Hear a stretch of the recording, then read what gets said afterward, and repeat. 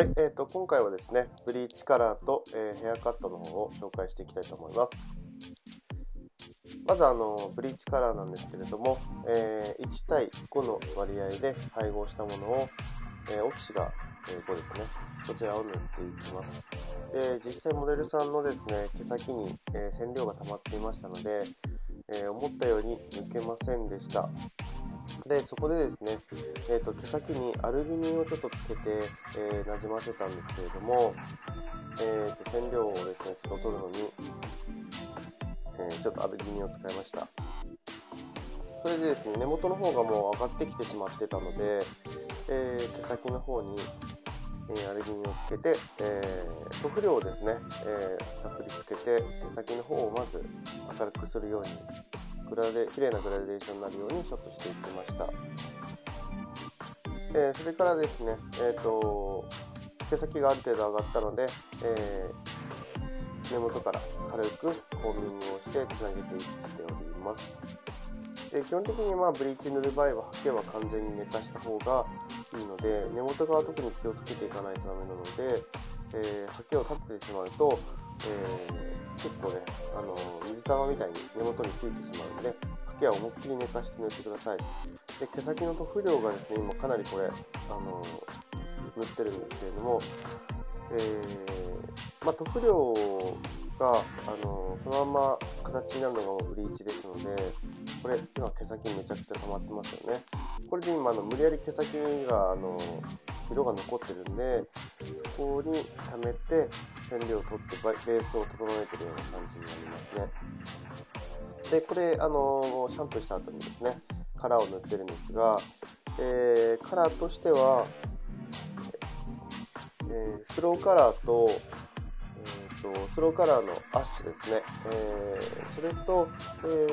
え、イゴラの新色のバイオレット、それをちょっと使って、えアッシュバイオレットで塗っていってます。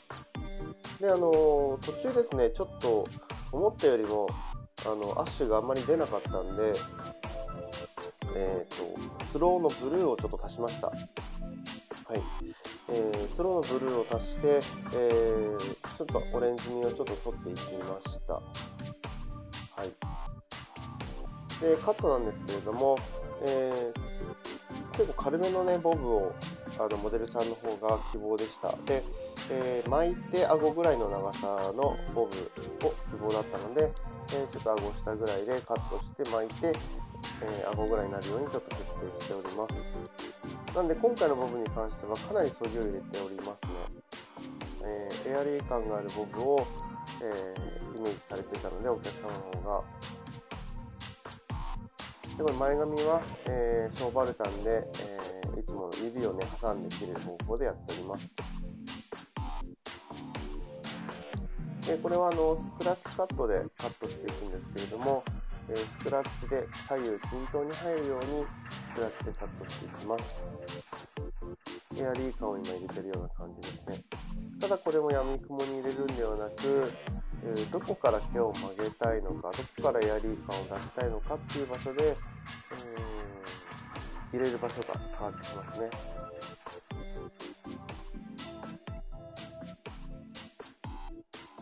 これはまああの今空気感を入れるのにちょっと違う方法でやりました。で今ねこの内巻きに入れてるのは、えー、よりですねまた内巻きに入れることによってカットのカットラインが変わってくるので内巻きに入れてから切るとまた少し変わりますでこれ襟足の方はアイロン入れてないんですけれども内巻きに、えー、ボンノコブより上を入れることによって襟足の毛が出てきますよねそこをカットしてますそうすると、えー、効率がかなりいいのでで、えー、イメージをカールのイメージを作ってから、えー、ショーバルタンでカットしていっておりますはい。で、耳後ろのところとかも結構細かい毛が出やすいので、カール入れると非常に切りやすいですね。入れるとこ入れないところで、えー、長さが変わってきますから、で、それでもちょっとね、軽さが足りないっていうことだったんで、またさらにプラスにスクラッチカットをペンシルシザーで入れていっております。はい。えーまあ、ペンシルシザーの良さはあのスライドパッドと下から入れるスライドパッドと違って、えー、左右均等に入れるってことですね。はい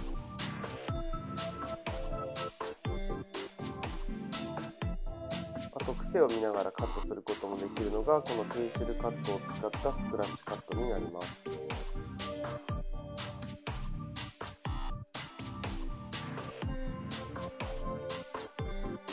モデルさんの方がね、もうちょっと軽さが欲しいということだったらね、結構奥行きを入れております。で、あのー、エナゼルとですね、あとはあのー、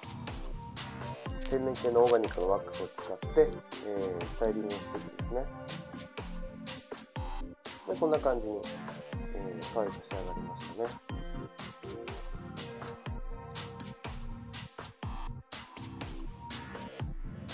はい、えー、今日もですね、最後まで見ていただいてありがとうございます。シェアなどしていただけたらありがたいです。